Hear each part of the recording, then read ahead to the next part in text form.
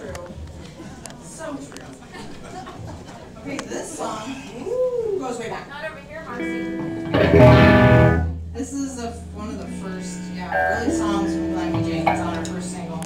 Yeah.